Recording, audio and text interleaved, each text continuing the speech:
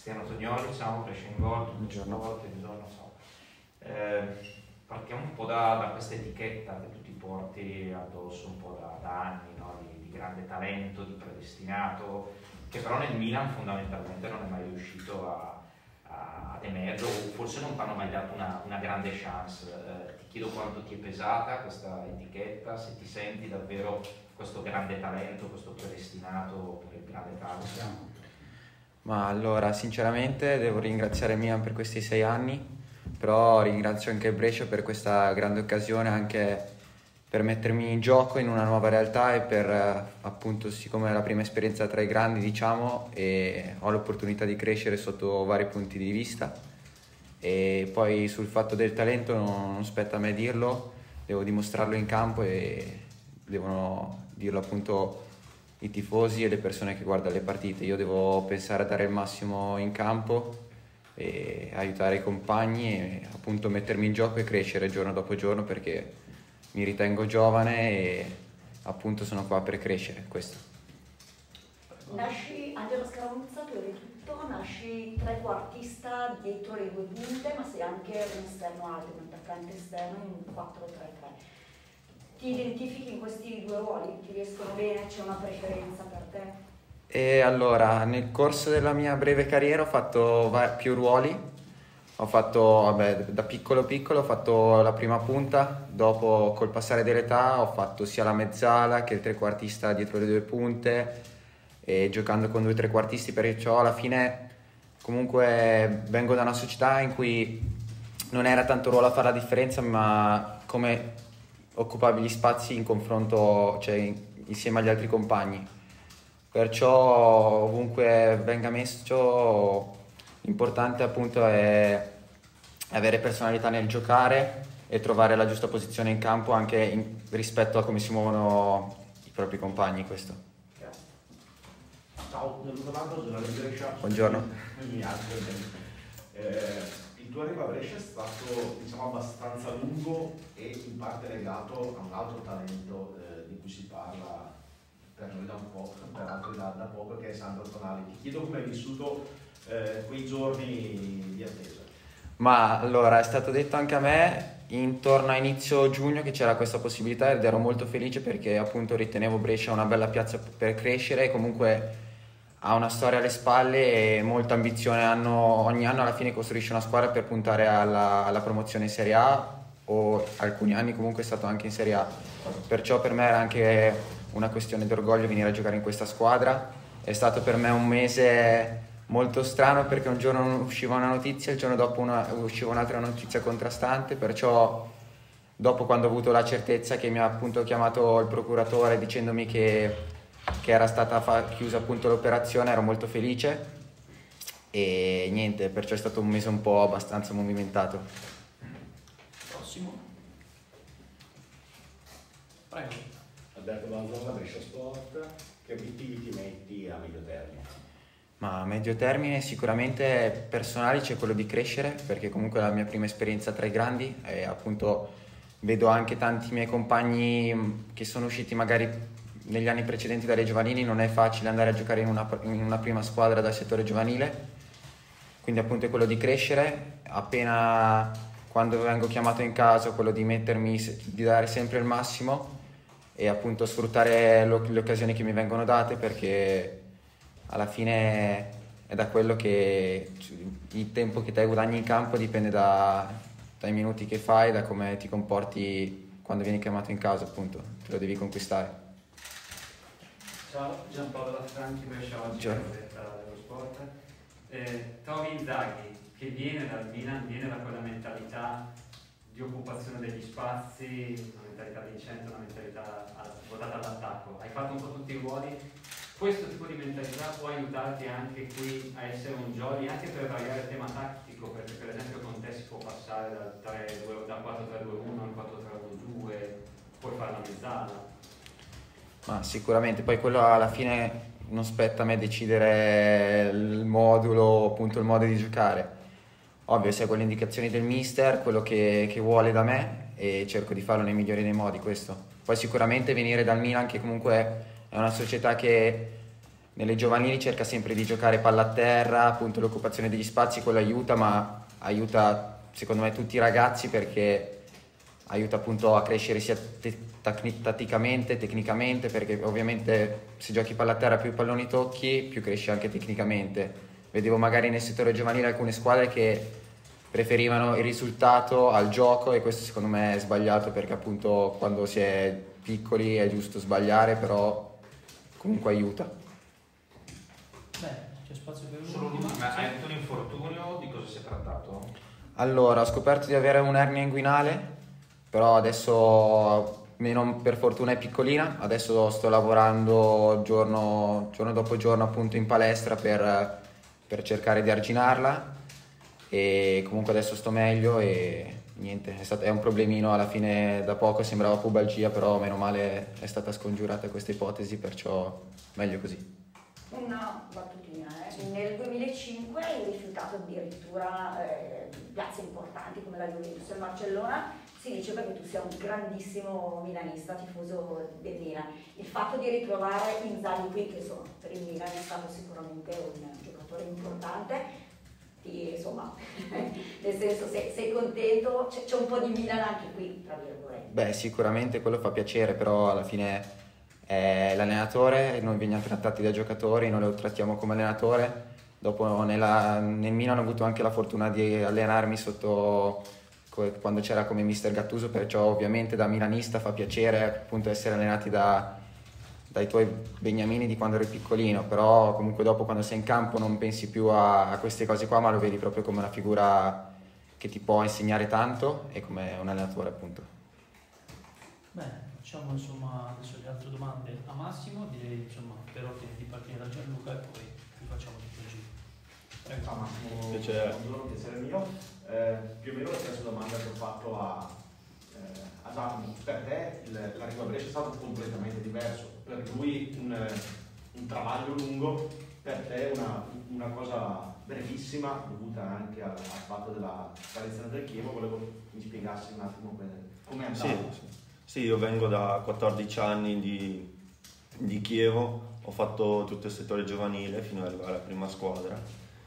E purtroppo dopo due anni eh, ho dovuto cambiare squadra, cioè non purtroppo per via di fallimento che ho dovuto cambiare squadra.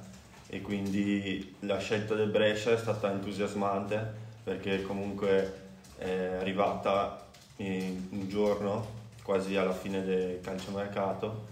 E, e quando ho sentito di- dell'interesse del Brescia eh, sono stato subito entusiasta. E infatti il giorno dopo dell'incontro eh, ho firmato subito e ho iniziato subito ad allenarmi con, con la squadra. E mi sto trovando molto bene anche con i compagni, ho subito fatto amicizia con tutti. E, e devo dire che ho fatto la scelta giusta a- ad arrivare qua. Prossimo. Prego, Roberto Banzonale, Brescia Sport. Eh, riallacciandomi a quello che hai detto, com'è l'impatto dopo 14 stagioni con la stessa maglia a cambiare completamente tutto quella- quello che era il tuo ambiente e trovati un ambiente totalmente diverso? Sì, sapevo che un giorno sarebbe successo questo e- ed è arrivato quest'anno. L'impatto eh, a livello di qualitativo e di intensità eh, non l'ho sofferto perché comunque anche al Chievo c'erano giocatori di, di qualità, di livello che hanno giocato in Serie A e quindi l'intensità era molto alta. E quella che sto trovando anche qua, eh, gioco con eh, giocatori di livello che hanno giocato in Serie A e, l'intensità è molto alta negli allenamenti e questo è un vantaggio per me. Prossimo. Giampaolo Lafranchi, Brescia oggi, Gazzetta dello Sport, ben trovato. Eh, puoi essere l'arma tattica di questa squadra, te lo chiedo perché nelle prime uscite magari non sei stato il più brillante, ma sei stato fondamentale per il lavoro che hai fatto in mezzo e adesso puoi fare anche il terzino destro, il laterale destro. Eh, ti rivedi in questo ruolo tattico utile per la squadra? Sì, eh, negli anni passati ho già avuto questa esperienza da iniziare a metà campo e poi per, per motivi di, eh, di mancanza nel ruolo di altri giocatori mi hanno spostato eh, in un altro ruolo come terzino. Eh, sicuramente è un vantaggio anche per il mister eh, avere un giocatore che può occupare vari ruoli.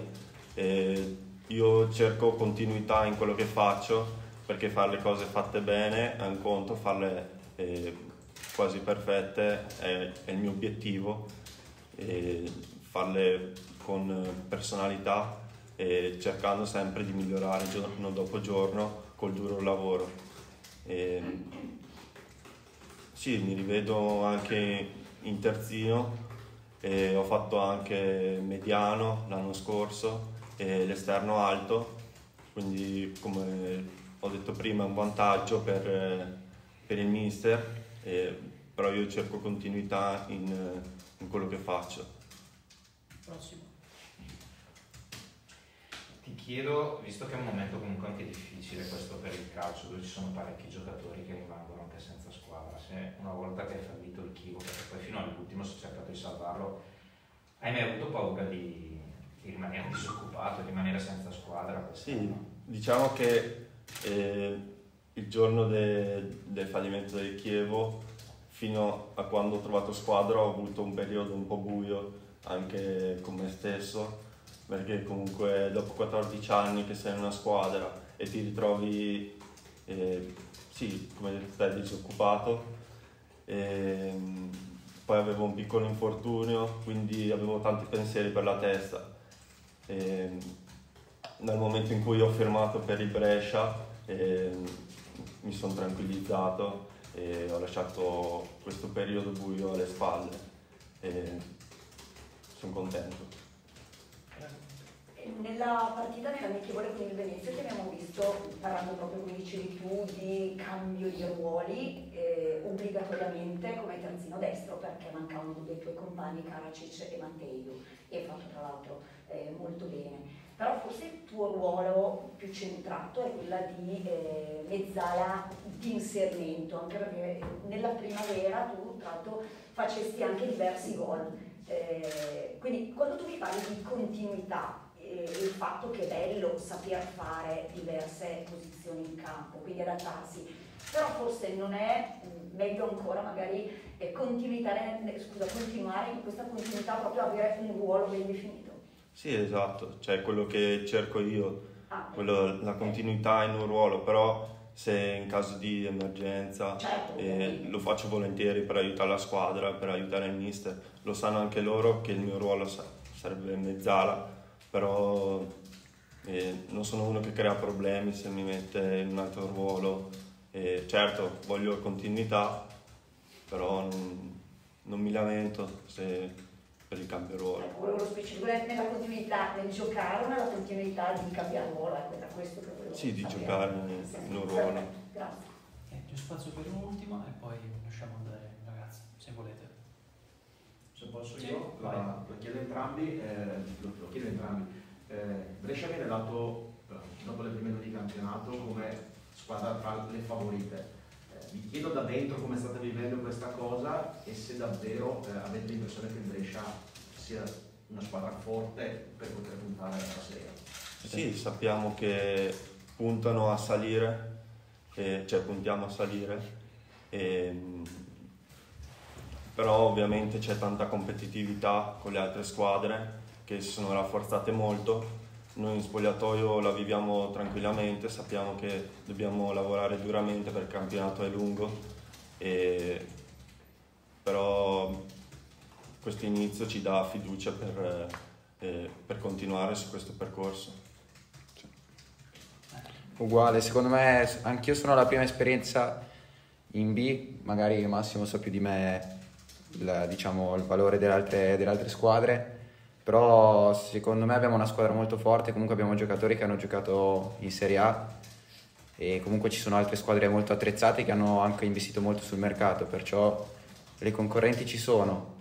Noi, noi stiamo andando bene, però alla fine sono passate solo due giornate, ancora presto per, per dire a che punto siamo, possiamo ancora crescere tanto e magari se ne riparlerà più avanti e magari dopo la pausa di gennaio vedremo a che punto, in, a che punto saremo in classifica, lì ci sarà un, un, quadro un po' più chiaro della situazione appunto. Personalmente questo, questo salto dalla, dalla, primavera, cioè di livello, è abbastanza importante. Come approccio personale, vero come dici tu, sono le prime partite, tu tra l'altro poi hai giocato l'ultima spedizione, questa... come è stato per te? Come ti sei sentito? Ma alla fine la, la, mia preoccupazione più grande era magari il ritmo partita tra la primavera e, la, e comunque i grandi, però devo dire che mi sono trovato molto bene e comunque avere anche giocatori forti vicini ti aiuta molto secondo me, perché appunto ti puoi sempre affidare ai compagni nel momento di difficoltà, puoi far uscire, puoi, puoi far vedere meglio le tue qualità e quindi mi sono trovato bene e sono, sono anche tranquillo quando gioco e perciò mi sento molto bene. Bene, grazie. grazie.